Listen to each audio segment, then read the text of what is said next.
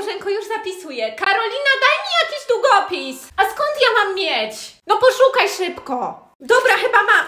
Nie mam. Dobra, mam. Dzięki, już możesz dyktować. No tak, tak właśnie to jest. Ona zawsze najmądrzejsza. Nie, naprawdę, z nią to wiesz jak jest. Nie ma sensu się kłócić.